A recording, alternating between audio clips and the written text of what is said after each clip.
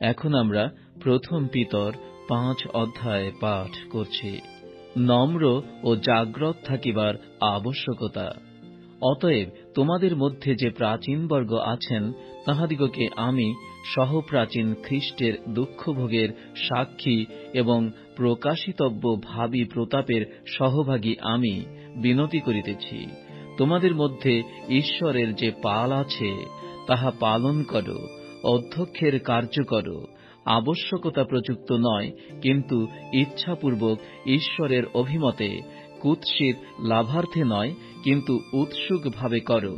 নিরূপিত অধিকারের উপরে কর্তৃত্বকারীরূপে নয়, কিন্তু পালের আদর্শ হইয়াই কর। তাহাতে প্রধান পালক প্রকাশিত হইলে তোমরা অম্লান প্রতাপ মুকুট পাইবে। তদ্রূপ হে যুবকেরা তোমরা প্রাচীনদের বশীভূত হও, আর তোমরা সকলেই একজন অন্যের সেবার্থে নম্রতায় কটিবন্ধন কর, কেননা ঈশ্বর অহংকারীদের প্রতিরোধ করেন, কিন্তু নম্রদিগকে অনুগ্রহ প্রদান করেন।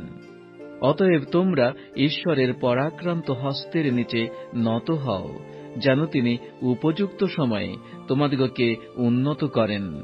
তোমাদের সমস্ত ভাবনার ভার তাঁহার উপরে ফেলিয়া দাও, কেননা তিনি তোমাদের জন্য চিন্তা করেন।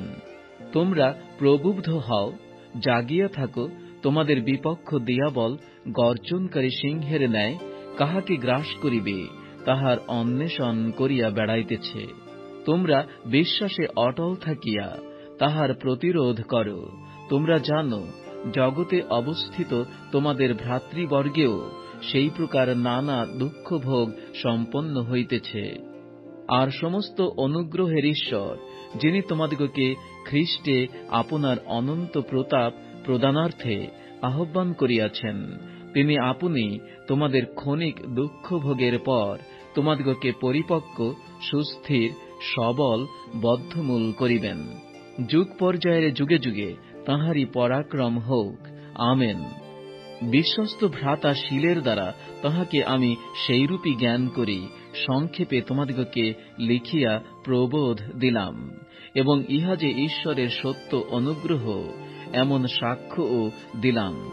তোমরা ইহাতে স্থির থাকো।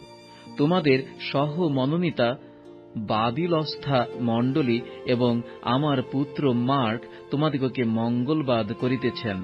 তোমরা প্রেম চুম্বনে পরস্পর মঙ্গলবাদ করো। তোমরা যত লোক খ্রিস্টে আছো তোমাদের সকলের প্রতি শান্তি বর্তুক।